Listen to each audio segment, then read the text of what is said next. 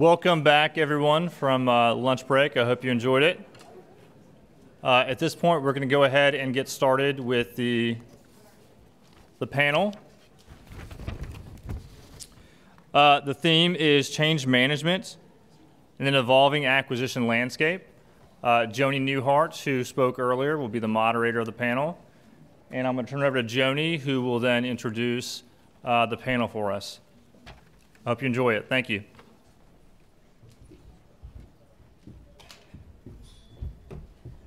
Thank you, Mark. Welcome back, everybody. We have a stellar panel for you. We have, well, I'm, I'm going to not introduce them right now. I'm going to introduce them when I first ask them a question because I don't want time to be eaten up with introductions when we have a lot of good information for you. So, um, do we have everybody here? Dan, you want to come on up? he thought I'd forget about him. No such luck. welcome. Welcome to all of you. So, um, our panel is on the topic of change management in an evolving acquisition landscape. So, we're going to talk a little bit about what these folks are individually doing with the overall topic. Hopefully, you can get some ideas on how you can go back and implement this because I know at your agencies it's challenging when you bring in new ideas sometimes. And these folks will help you navigate that a bit. So, I'm going to start with my close colleague, Matthew Blum, who's the Associate Administrator at OFPP. Welcome, Matthew. Um, Matthew, you were the driving force for the TechFAR, which is a new approach to innovation in contracting, utilizing existing flexibilities. Can you tell us the purpose and path ahead for the TechFAR? Sure, Joanie. Thanks very much. Um, when, I, when Mark ran the uh, demographics for today, I think that there were a very large percentage of folks that are in the procurement um, area. Hopefully, we have others from our IPT. But I know for all the procurement people in particular, you'll be well aware of the fact that for at least, I guess, 20 years now, there have been guiding principles uh, in the front of the federal acquisition regulation that say very expressly that if a particular strategy, policy, or procedure is in the best interest of the government, if it isn't addressed in the FAR and it isn't prohibited by law or regulation, um, that you are empowered. In fact, the acquisition team is empowered to innovate. Notwithstanding the fact that there is this very express language, and they do actually use the word innovate, um, we don't actually train all that well to um, use that particular authority. And it actually, this is not a criticism of our good folks that, that help with training when you think about it. How do you train people to something that's not written, that may not be written down? How do we know what it is that we, that we want to train to?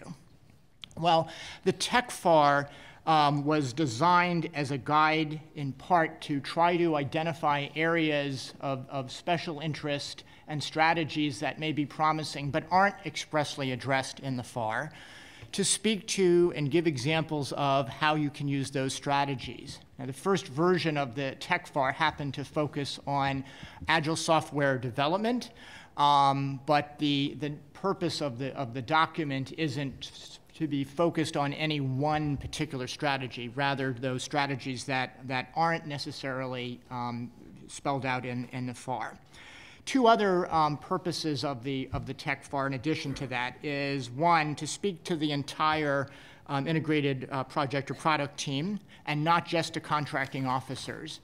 Um, it seems that a key component of innovation is the ability to have rapid information exchange. And by, the, by your own feedback to Mark in this conference about things that you see standing in the way of innovation is the fact that, try as we may, we still are siloed in many respects in our individual functions. So when we were working to put together this document, we wanted to write it in a way that it would speak to all the members of the IPT, not just the contracting officers, but the IT people, the program people, and the attorneys as well. We don't want it to be something that uh, everybody can't, can't look at and uh, understand. And lastly, we wanted to anticipate some of the questions that might occur between the IT acquisition uh, contracting officers and the attorneys um, for example, in agile software development, some of the refinement of the requirements will occur after a contract is awarded. And to a contracting officer that's going through classical training of what's full and open competition and perhaps supporting people in the traditional waterfall method, they will think, hmm, don't we have to have all the requirements identified up front before award in order to avoid running afoul of competition requirements? The Tech FAR seeks to address that and ways in which refinements can be uh, uh, refined after uh, a contract award through customer input, through prototyping, uh, while still being fully compliant with all of our, our public uh, principles of competition um, and other uh, requirements of, of, of acquisition. So this is intended to be a living document, and uh, we're very interested in getting your feedback. If you haven't had a chance to take a look at it, you should go to the CIO webpage. Actually, if you just do a quick internet search, uh, it comes up, I think, in, in several different locations. Uh, and think about, have we asked the right questions? Um, does the format work? Um, and how, uh, maybe most importantly, can we make it a more dynamic tool? So that is, if you have specific questions that we haven't addressed, what are ways in which maybe we can uh, deal with that more rapidly? If that's something that's uh, important to you, we would love to get that type of feedback. And lastly, um, and I think this will be, my colleagues, I think will probably, uh, hopefully reinforce this, um, the TechFAR is really just one tool if you're going to unlock the flexibilities of the FAR, I think everybody that's here today knows that it's far beyond just whatever we do in the written word, either in the FAR or in policy. It's the sort of things that you were talking about earlier with DITAP and making sure that we have hands-on training so people that are not familiar with Agile can actually work with somebody that's had some experience with it. And it's also making sure we have access to information and documenting results, as Bryan mentioned, um, with respect to buyers clubs so that people can emulate practices that have worked and finally, and a challenge for from our managers, it's making sure that we encourage people when we when we offer these tools and not mandate them, so that we have those that are willing that can be our leaders in some of these these areas that may require entailment of some risk um, to take these challenges on and then share it with others that uh, prefer to wait and see. Great, thank you, Matthew. So now we're going to move. You've met him earlier today, Bryan Sivak. Thank you for coming, Chief Technology Officer and Entrepreneur in Residence at HHS. So, Bryan, I haven't known you for very long, but I love some of the stuff you're doing, and I think this crowd in particular would like to hear about that too. You spoke a little bit earlier about some things. Can you share more with us about the Idea Lab and how these guys might go back to their agencies and actually start one? sure. Um, so apologies for all you people over there that I can't see because of the podium. Um, I am here, I promise. Um, so actually, just a really quick question. How many people here are from HHS? Show of hands. Okay, good number, but not everybody by a long shot. That's great. So, let me explain um, a little bit about what uh, the main sort of vehicle that we're putting a lot of this stuff through at HHS is something we call the Idea Lab, and uh, the Idea Lab itself, we started probably about a year, year and a half ago, maybe a little bit longer. Although it's sort of been in the works in various ways, shapes, and forms for probably the last four or five years. Uh, really, what it is uh, is a um, it's an entity that's designed to essentially try to create a more modern and effective government. And we do that by, uh, more than anything else, providing what we like to think of as a safe uh, safe space for experimentation within the department. Uh, we believe that uh, it's only through sort of rapid and iterative and intelligent experimentation that we can actually move the ball forward on trying some of these new approaches that uh, we believe will deliver results. Um, really the way that we like to think about the activities that we've got inside the idea lab is to focus it on answering uh, or, or, trying to solve i should say three problems that we've noticed across the board number one uh, we've got, say, 90,000 or so employees at HHS who, uh, for the most part, are um, incredible people working on incredibly important things, everything from refugee resettlement to finding the cure for cancer. Uh, and the problem is that we tend to not take advantage of uh, the skills that we have within the department to the extent that we can. A lot of these people have some fantastic ideas about new things that they can uh, try or uh, uh ways that they can um, modify their efforts in order to generate better results, but the bureaucracy and the hierarchy and the red tape and the uh, you know sort of command and control nature of all of these organizations prevents a lot of that from happening. So the first bucket of activities is really focused on trying to get more out of the people that work at HHS. Uh, we do this through a few different initiatives. One of them. Um, that uh, we've had some really interesting success with recently uh, something called uh, the HHS Ignite Accelerator. Uh, you can think of it like a almost like a Silicon Valley accelerator. Teams apply, the ones that are selected uh, uh, go through a three month program where we basically give them a bunch of training on methodologies that they would never get in government uh, human centered design and design thinking, rapid implementation and experimentation, rapid prototyping, um, lean startup, things like that. And then uh, we give them $5,000, up to $5,000 per team. Turns out the money is the least important part. Uh, and then um, uh, essentially hold, uh, give them uh, advice and assistance along the way as they go down this path of trying to experiment with their ideas. Uh, we're in the third cohort of that right now, the third class, and some of the things that have been developed have been pretty remarkable in terms of the, um, changing the way the missions of these agencies have been affected. So that's the first category. Second category are a set of programs designed to answer the question um, how do we get better skills or people that have different skills into the government? uh, to work on some pretty discrete and complex problems. So we've created a set of um, what we call in residence programs that will bring people in for one to two year stints to actually work on some of these more complex issues. And then the third uh, category is really focused around this idea of breaking down the silos and creating these uh, c- uh, collaborative communities. Um, really finding people from across the department in lots of different areas that uh, are all required to help deliver on a specific uh, idea or a specific mission. So, the prototypical example of that is the Health Data Initiative. This is something that many of you have probably heard of. We started it about five years ago. And the, the goal of that is to essentially make all of this data that HHS has been creating or collecting or curating for years available to the public uh, to do interesting things with. And uh, over the last five years, uh, we've had some pretty remarkable success. Uh, the things that people have done with this data uh, continue to amaze me. In fact, today, just today, there was an article in the Wall Street Journal that some of you guys might have seen uh, that used Medicare data to, um, that in their analysis indicated that certain hospitals were releasing patients in a three day window where Medicare pays more for their stay, right? And so interesting things can happen when you start looking at data, and we've seen some fascinating stuff. Uh, the Buyers Club is sort of the newest example of one of these collaborative communities. As I said this morning, to me, the most important thing about this is getting people across the department in different disciplines to work together from day one on these implementations. Uh, and so it really fits in well with that overall mission.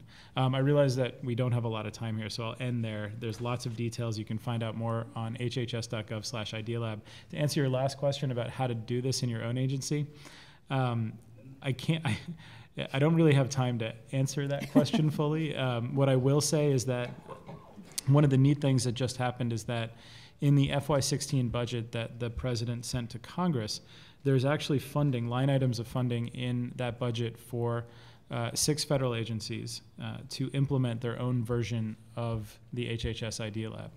Uh, the agencies are SBA, Commerce, uh, Education, um, uh, Treasury, and I'm blanking on the fifth one, and HHS is the sixth. Um, but uh, the neat thing is, if Congress does pass that budget, those line items do make it in there, uh, we'll actually have some of these idea labs out there to continue to experiment with and to drive some of these changes further into the federal government. Great, thank you, Bryan. So we're going to move right now to Marina Martin, who's the Chief Technology Officer at the Department of Veterans Affairs. So, Marina, I'm guessing you're a type A personality since you're the founder and CEO of Type A Way. Just a guess. Good guess.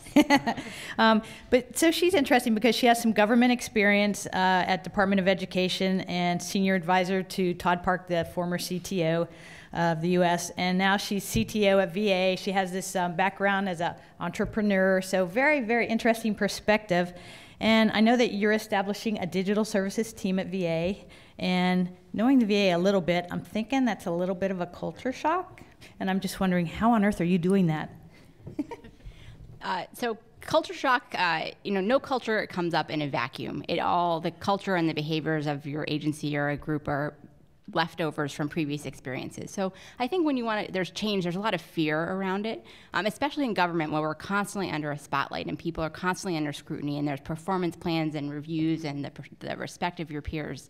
Um, so a big part of that is modeling the change that you want to see in the world. Uh, and in this particular space, it can mean, uh, you know, actually doing your own agile contract and getting people crossing silos, bringing something that's successful and that's celebrated at your agency so that other people want to be a part of it, as opposed to what Matthew was saying, uh, feeling that they're being forced to do it. So we're hiring uh, this digital services team, which is bringing some top technologists from the private sector into VA for one to two year stints um, to help work on some of our key mission areas. You know, ending backlog, uh, modernizing our healthcare delivery platform, and improving the digital experience for our customers, our veterans. And uh, it's it'd be easy and faster if we brought this team in and just said, okay, you guys do these couple of projects off in a corner. Um, but the thing is, if we did that in two years, maybe the project would be done, but it would not have changed in 20 years. It'll still be done. It'll still be sitting in the corner, and it'll be it'll be dusty. Uh, so it's about how do you find ways for people to work together. Um, there's a lot of fear, and I think perhaps even a little bit of resentment when you bring in new people or new ideas. It's hey, you know what we had before was working. Um, and you got to bring p- folks in and find opportunities, however big or small, for them to work together to view it as a learning experience, as a cooperative experience, and not as a forced, a forced experience. Um, one example that I've been working on lately is a, a new way that we do disability evaluations. Um, our examiners today have a very old software that, for example, does not let them use their mouse um, so it's it's kind of a frustrating experience. And th- one way to try to change that would be to write a really long requirements document covering all the different things we wanted to do. But we wanted to do this differently. So actually, we spent a month in the field being examined, sitting in on exams, trying out prototypes.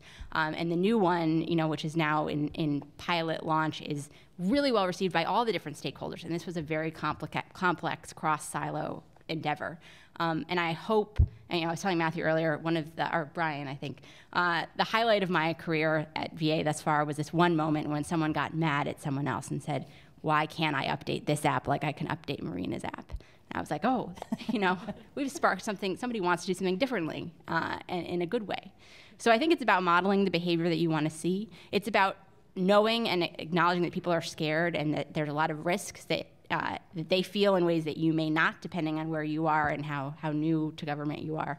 As if you can find ways to give them credit and absorb the risk yourself, I think that's a really good strategy. Uh, and that still ultimately gets you gets you to your goal. And again, start out small. Like you might not want to start out with a, a big giant project as your first agile cross silo initiative. You might want to start with a small tool, one great example we have at VA is the GI Bill comparison tool. It's a one page open source JavaScript tool, but in the background, it takes eight disparate data sets um, and pulls them together into one super easy tool so a veteran can understand uh, how to get the most bang for their buck for their GI Bill benefits, which pays for them to go to school. If you pick the wrong GI Bill chapter, you can miss out on a lot of uh, dollars that you would otherwise be entitled to. So it's an important decision that was previously really complicated. And with a quick prototype and lots of user feedback, um, we were able to get a tool out there that's really helping veterans. So. Great, thank you. And I see a theme here talking to the users right up front. Everybody's talking about that. That's fantastic. So now I'm going to turn to Dan Doney, who I love your title, Dan, Chief Innovation Officer at, get this, Defense Intelligence Agency. Those two don't seem to match. But tell us a little bit about what you're doing. I've read that you're an instigator and a pot stirrer, so I like you already, even though I don't know you. Um, but I'm intrigued with some of the things that you're doing. So, what is it like in the life of a chief innovation officer? Thanks a lot, Joanie. So, uh, the Innovation Challenge is my, my, title, my job is very new at the Defense Intelligence Agency. I've only been in the position for two years now. Um, there's considerable misunderstanding regarding the challenge associated with innovation. They thought that innovation um, broadly is uh, the workforce generally held that it was someone else's responsibility, either our science and technology group, our innovation group, or uh, um, an office, somebody else's job, or maybe our new chief innovation officer. Um, he would be the guy who would handle this. Um, in fact, that's a clear sign of a particular problem. As soon as I walked through the door, um, I, my door was pounded through with people who had good ideas in our workforce. Um, and it wasn't just that we needed more parking. There were lots of other good, fundamental, mission changing ideas in our workforce. We really needed to be able to tap into those ideas. So within government, the challenge for innovation was, again, not a lack of ideas, but an inability to efficiently convert ideas into action, and specifically emerging ideas, the kinds of things that you didn't plan for, but rather came up as a matter of opportunity. So I'm going to be speaking a little bit later um, specifically about three principles that are guaranteed to make your government agency innovative. I promise you, I guarantee it, I'll stand behind it. If you enact these three principles, you will get there. And then four initiatives to actually prove um, that those principles are in fact valid. So I'm going to get into that, but I'm going to hit on, on one of them here um, in this particular panel in a little bit more detail. So we looked at, um, again, the thinking was that we needed to go after some great big shine, bright shiny object or that innovation had a lot to do with IT. None of these things are true. It really comes down to fundamental organizational agility. So can you quickly marshal resources, matching the individuals with needs to the best possible solution wherever they emerge? Innovation is that simple. What's so hard about that? Well, when you look at all the processes that we engage in, you see we do almost everything to block um, those sets of conditions. We don't give ourselves in execution year fiscal agility um, as, as one thing. So, how do we plan for the unplanned is an important piece of this. The people who actually represent our needs are not the individuals closest to what we call the mission edge, the ones who actually enact what our mission does. Instead, we rely on professional program managers, acquisition professionals, senior leaders in order to represent our particular needs instead of those folks. And we don't have effective mechanisms to reach outside of traditional circles to get to the best possible ideas wherever they sit. Okay? So it turns out um, I found out, much to my chagrin, I'm an MIT trained nuclear engineer, that our problem had a lot more to do with our back office than you know clever new ideas um, that need to be injected into our system. So it turns out that most of our reform centers around acquisition um, reform elements. It's the responsibility of the acquisition professional to make this match between marshaling resources against matching need to solution provider. So it was there that we really needed to inject new energy. Specifically, um, we saw two problems we had to attack. The first problem was we only get what we know to ask for in our acquisition circles. And the problem is there are many ideas out there that are disruptive and emerging, and we just don't know to ask for them. So we had to create a model that allowed us to efficiently deal with that. And the second is it's hard to ask. So it was taking us six to nine months to put out an RFI, RFP, broad agency announcement, and, and so on. We needed to, to allow our non traditional consumers that is the folks closest to the mission edge, to engage in this process, we made it, had to make it easy for them to ask within a day um, for a specific, whatever it is that they're looking for. So we set up something almost quite by accident called Needopedia. Needopedia is actually a fairly simple model. There's a lot of complexity behind the scenes, but it starts like this. Many of you are familiar with open broad agency announcements. Lots of research organizations use this. Sort of a, a broad statement of what kinds of things you're looking for in a great big um, document full of human subjects testing rules and other things. So we took that piece, and instead of where you would normally put your thrust areas, the areas of interest to, you, we have a link to a dynamic document called Needopedia. So now we have all of our acquisition rigor built into this um, framework, which is largely static.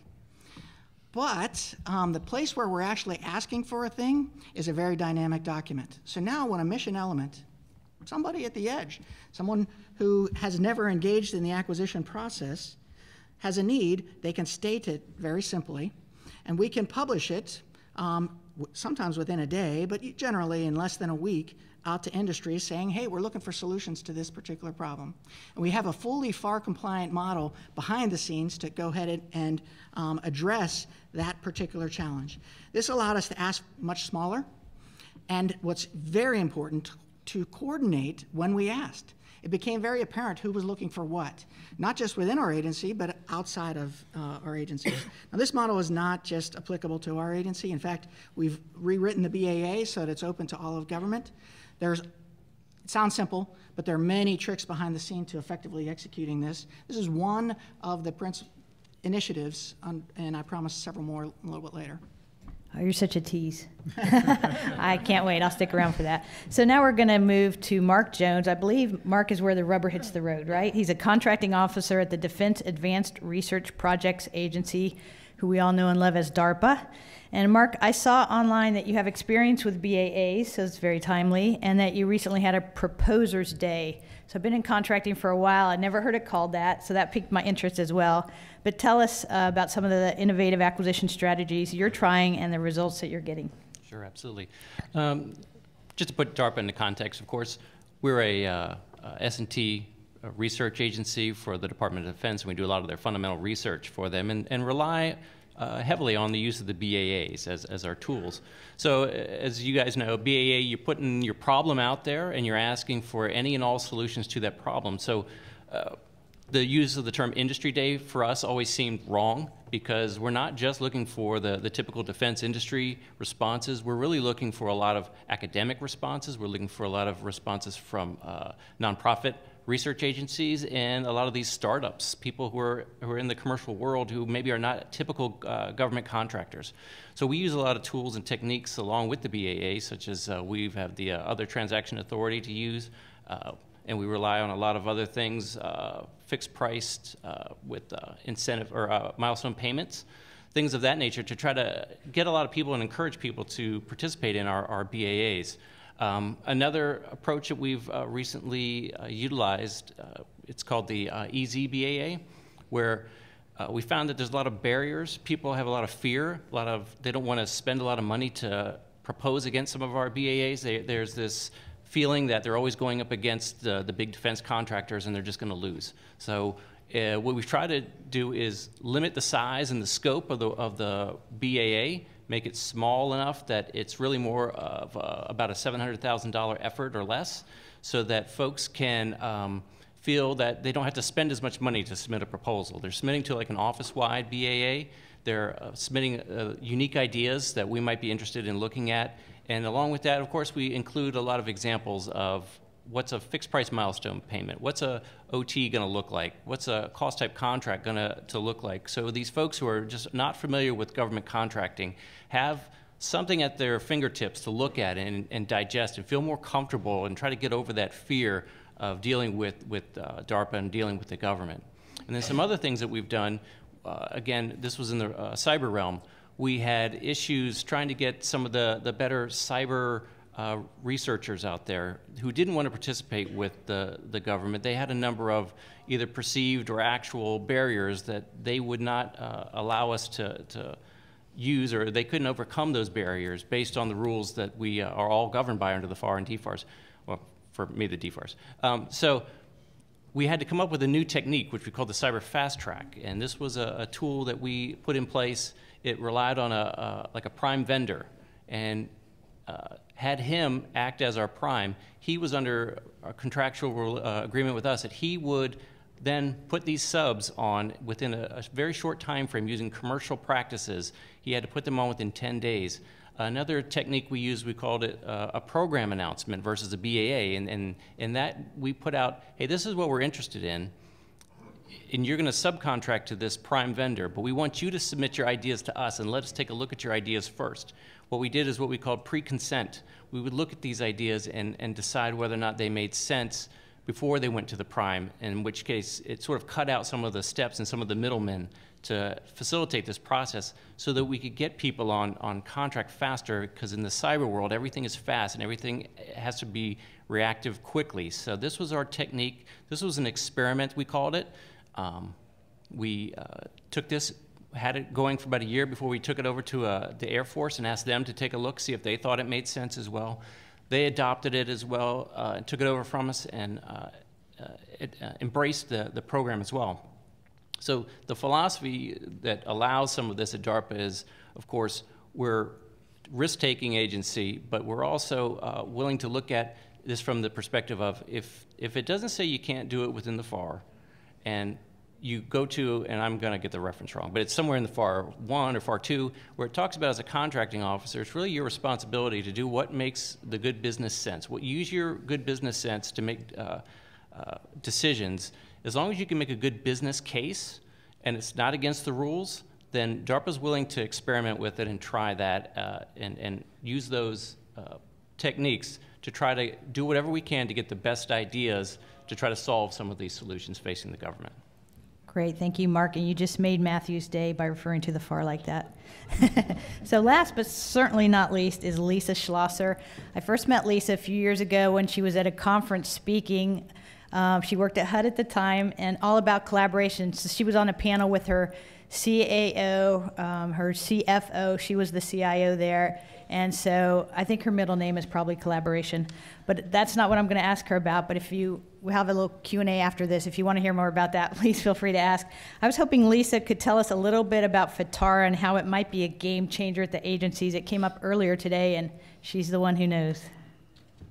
All right, great. Uh, thanks, Joanie. And um, wow, this is such a great panel with so many great ideas. And I've worked with, I know Marina and Bryan and, and Matthew and Joanie, and um, I, I, really hope you take uh, what they said to heart and some of the initiatives and, and the other panelists. I just haven't worked directly with you, but uh, it's really some great ideas. So I want to do just a little bit of uh, group participation here first. So, how many people uh, actually use Amazon or Zappos or Google on a daily basis? Just raise your hand. Everybody should be raising their hand, right? Okay. How many people uh, have a smartphone? Okay. How many people don't have a smartphone? Don't raise your hand. I'm just kidding. Um, so let's talk afterwards, though. Um, so, um, how many people here are uh, somehow involved with buying, building, or delivering government IT solutions? Okay, super. Um, so, um, so I, I asked you those questions because I, I want to lead into something that, that my colleagues have talked about, and it is change and change management. And what's, I think, one of the, the key points when you are in an era where we are right now, uh, where we are um, really on the brink of some amazing transformational change in the way uh, that we use technology in the federal government and our expectations of technology. And through that, you know, to make that change happen, I think everybody involved in, in that organization or that process or that change uh, has to start with a common ground. And I think we all, by raising our hands, have a common ground that we want to start with. So, how, how many people here who are involved with buying, building, or delivering technology want that technology that they're buying, building, or delivering to be as good and reliable as Google, as Amazon, as Zappos? Anybody not raise their hand with that? So, um, so, um, so common sense that we all want to start with that. So, how do we get there from here um, and manage this change? How do we all manage this change to to do this better? Um, so, so number one, at a very macro level, uh, there's something called the Federal Information Technology um, Acquisition Reform Act, or FITARA. How many people have heard of FITARA? Okay, if you haven't heard of FITARA, you're definitely going to hear about FITARA because it impacts everybody in this room. It impacts acquisition professionals, IT professionals. Uh, and while some may look at this and say, oh my goodness, it's just putting more burden and reporting and requirements and giving my CIO all the power and the money and the authority, not true, okay, first of all. Um, what FITARA really is, is something that gives all of us this amazing opportunity to transform federal government IT. So, what FITARA basically, there's several parts to FITARA. It does talk about CIO authorities, okay, and it gives CIOs greater authority and basically actually says in the law that CIOs need to approve uh, basically all IT acquisitions and contracts, uh, IT budgets across the organization and uh, but um, tied with that, they're responsible for making sure that IT solutions are delivered effectively and efficiently. So, um, so that's that's one thing uh, that comes out in FITARA. Um, but but secondly, uh, FITARA also talks about driving efficiencies through um, through portfolio stat, tech stat, and other programs that hopefully you're all familiar with that help us really look at IT, how we're acquiring IT, how we're delivering, how we're developing IT, and do it better. Um, and the third part of FITARA, uh, equally as important as the first two, uh, talks about acquisition and acquisition reform um, and talks about how um, we can do a better job um, across the board training our IT acquisition professionals, doing the things that some of the panelists talked about, uh, really kind of um, making sure that we understand requirements uh, better uh, from the beginning. Um, it also talks about strategic sourcing. Um, it codifies some of our strategic sourcing initiatives in law. Um, and it also requires us to do a better job with enterprise software licensing. Okay, um, so all those things are in the law. Um, so what are we doing uh, about kind of figuring out how we implement this law across the federal government? So, so OMB, um, both the e-government team as as well as our OFPP team, our whole team actually on the M side and the B side, uh, are going out and talking to people like you, and hopefully some of you have been involved with some of these sessions to give us feedback on what we need to do with FITARA to implement it right, to make sure that the acquisition communities involved with implementing things like you know, how does the CIO approve all contracts, right? I mean, that's a big deal. So, how do we do that effectively and not so it's just the CIOs? CIOs have to do this with the acquisition community, and we all have to do it in conjunction with the budget community. So, we are in the process of getting feedback from everybody in this room and across the communities to figure out how we do that best to get to that ultimate goal that we all have to better buy, deliver, uh, you know, buy, build, and deliver technology as a strategic enabler for all our missions, for all our support functions. So, um, so that's what we're doing with FITARA. And so I'll go kind of one level uh, more and, and talk about the tools that, that collectively, you've heard some of the tools that our, my fellow panelists have been putting out there, some of the innovations, the Idea Lab, some of the work Marina's doing with digital services, um, the Buyers Club, uh, all these, the, the TechFAR. Um, we have also, um, for those of you that maybe are, are new to the, the acquisition community, about two years ago, we actually put out a guide on modular contracting and how you put in place contracts to allow for agile delivery and development of new technology, which is state of the art practice now. Um, so those tools are out there. A- another thing that, that I'll announce this group that just went out today uh, is that um, the CIO the CIO Council is sponsoring what we're calling um, a, a solutions challenge group and we are soliciting names uh, of individuals um, in the 9 through 12 range uh, to, to be on a team, and we're going to be very selective about this team, but this team's going to come in uh, and work together and identify challenges across IT, across IT acquisition, and then spend time together coming up with solutions uh, to overcome those challenges as a team. And those teams are going to present those solutions to the senior leadership at OMB and the CIO councils and the chief acquisition officers councils and others. So, um, so this is a really neat opportunity for everybody to get involved with, with the next generation of how we buy and build and deliver technology. So I just kind of wanted to end my talk with, with that and a uh, plea to all of you. If you want to know more about that, I'll be here for a couple minutes after uh, the session here. Um, but we're also sending out um, the note, the notes, and the and soliciting candidates for this program um, you know, through the CIO Council and through the Chief Acquisition Officers uh, Council. So it'll be out in each of your agencies. So if you want to be part of this and, and part of some of the great things here and uh, to bring your ideas that might not surface up, as somebody on the team said, that not, I think Bryan said that, that not all the great ideas we have, if, if we're not at the, the executives in the organization or senior leaders or managers, get to the kind of bubble up to the top, but we want those great ideas from all parts of the organization to bubble up. So uh, please look at that opportunity um, and, uh, and apply for it, and also use some of the tools that you've heard here today uh, from my other panelists and some of the tools that, that I mentioned as well. So thanks, Joanie. Sure. So we have a stellar panel. I don't know when you'll have the chance to ask them questions together again.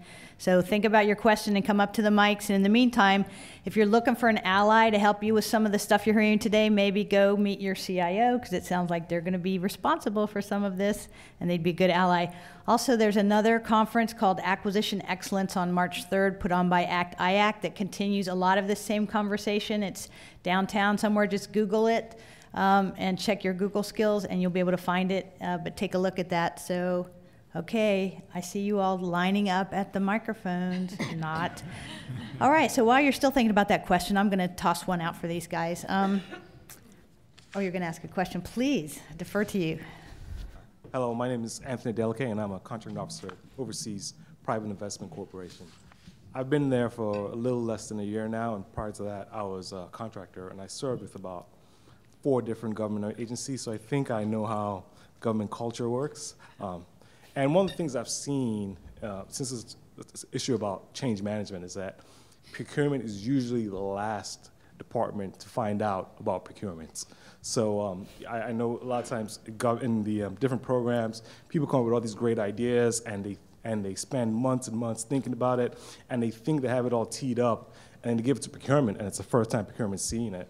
And they're like, okay, this $20 million package, you know, let me now start reviewing it. And people start getting frustrated with procurement taking much longer.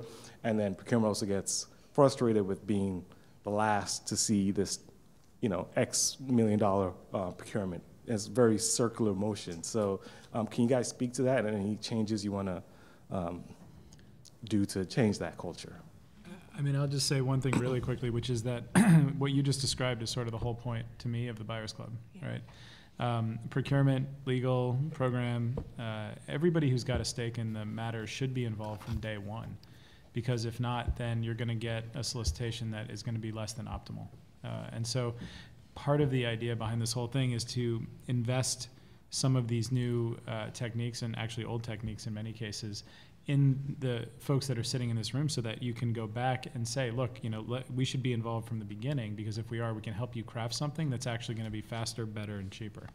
So that, to me, that's the whole point of this thing.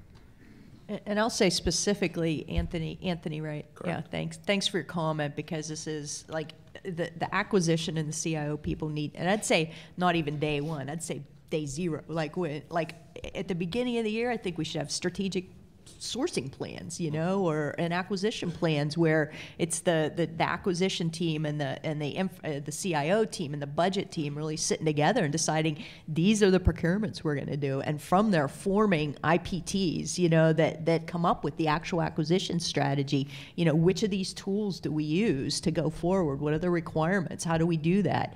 And I, I actually think that as you see the the guidance that that's going to be coming out on the implementation of FITARA that exact issue is going to to be addressed. So I appreciate hearing that it is at the the front of the uh, the acquisition officers' minds. So thanks.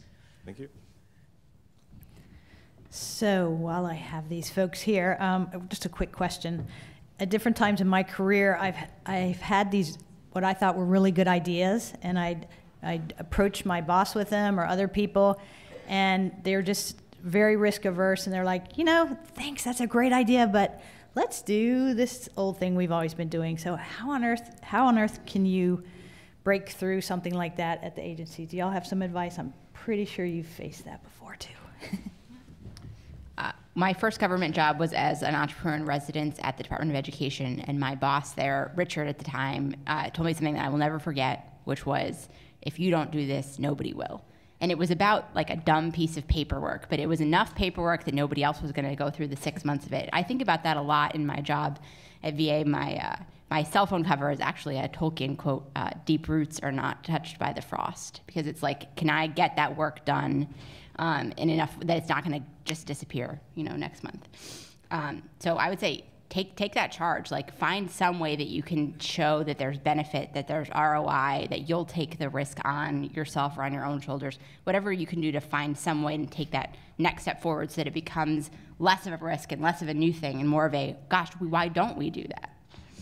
That's great.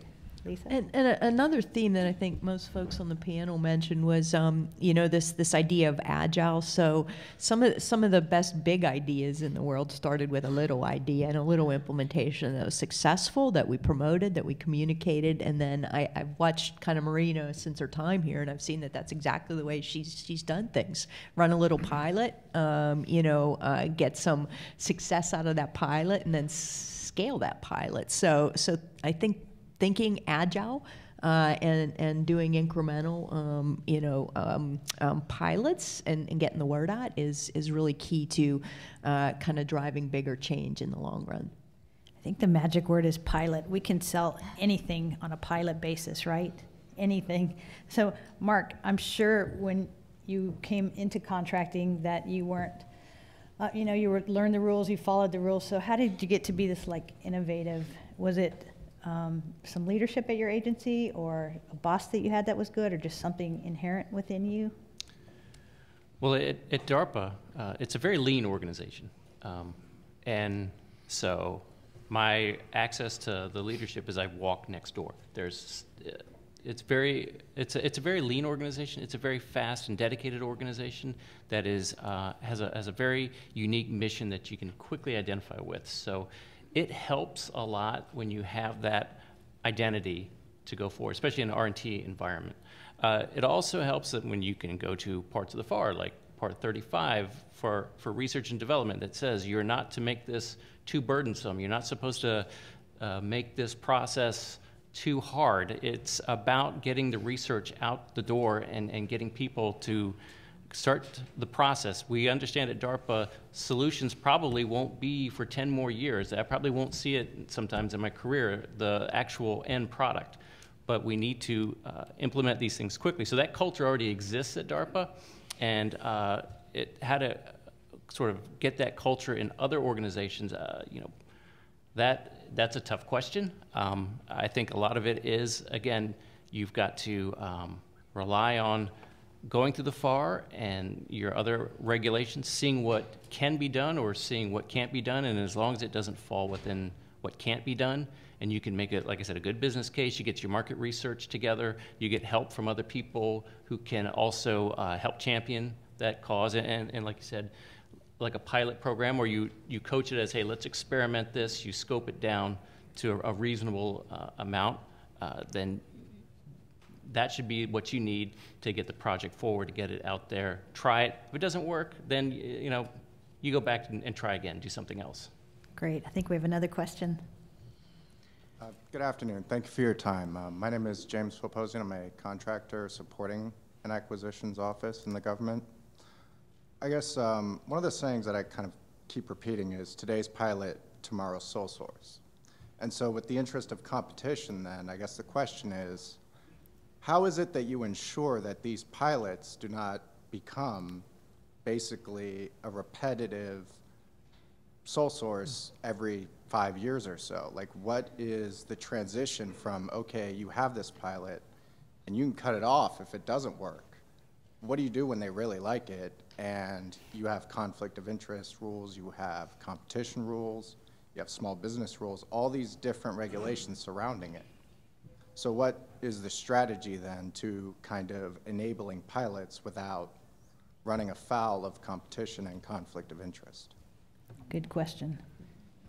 I'm going to look at you, Matthew. I, I'll, I'll tackle it first because uh, when I talk about a pilot, I, I don't necessarily mean going to one particular vendor or one particular company or one particular you know technology to run a pilot. Like I, I think the way we move forward, the best way and get the best solution is is do bake offs for pilots. You know, like how the the current and, and maybe Matthew or, or Joanie can weigh in, but I know that or, or anybody else that, that GSA is running one of these now where they're putting out simple requirements, going through a, a bake off with and letting, you know, kind of the community come in with different solutions and, and then seeing which of those pilots actually work best for uh, for that particular uh, problem, or maybe it's more than one for that solve a different part of the problem. So uh, to me, competition is how we how we keep refreshed, and competition for pilots as well. So um, that's how I see it manifesting. I don't know. If, No, I, uh, I think that's right. When we, when we're using the term pilot, I think it's, it's not just in the context of solving one particular problem, but in finding ways where we can uh, test new ways of doing business. I think that's the, kind of a common theme that I, that I've heard from my colleagues here. So it's not specific to a particular vendor. Um, and I really have to echo I the, the great word somebody, I think it was you, Dan, that said that we don't efficiently convert ideas into action. Um, and I think pilots are, are, the, are the best way to be able to do that. Um, because people, when they generally get concerned, and I don't necessarily know there's people in this room, but um, those that ultimately are responsible and accountable um, uh, at, at a larger level, for example, if we're thinking about legislation and talking to Congress, people have lots of really good and different ideas, and people can get nervous if they think that an authority is going to be used to affect, you know, billions of dollars without it being proven.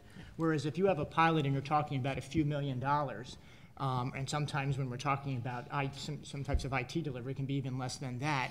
Um, hopefully, the anxiety level can go way down, and yet the power, if you can show that something works, if it's documented and we can scale it up, that's how you really make change. The, the definition of a pilot is something that you can easily let go, whether successful or not. Um, and so we, we scope in our, we have an innovation development process which is really designed to turn idea into action, that is, idea to initiative, that involves making a business case very quickly, and then quickly acting on it to buy down risk. One of our first, in fact, the very first pilot that we engaged in to prove out this model was um, enacting wireless in a top secret network. Now, um, all y'all use wireless, you probably use it at home, that seems like no big deal.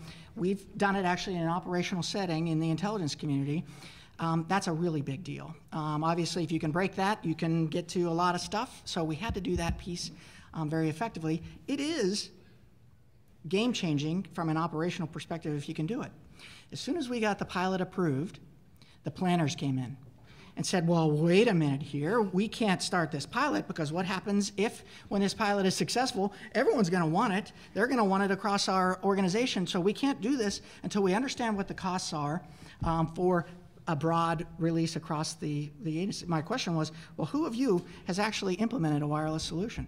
Have you done it um, in your operational setting? Because if you haven't, because what they wanted to do was commission a six-month study to study what the cost would be over the long haul. Would you really understand and discern that the results of that study in order to be able to enact it if you haven't tried it? Now, the one thing that we couldn't compromise on in our setting is security. So we focused like a laser on this, that issue. Sustainability, we are willing to waive. Cost, we are willing to waive. Let's try it and understand it. And what was key, if when we're done, can we let it go? Successful or failure? And we did. Um, we successfully proved it out, and we came to understand the total cost to the rest of the enterprise as a result of the pilot, not before the pilot. And from that now, we're able to, we're moving out much more aggressively. We, people had spent an inordinate amount of dollars trying to attack this problem. The way to do it was through a quick, targeted six-month initiative, do it, and understand the enterprise implications. Thank you very much.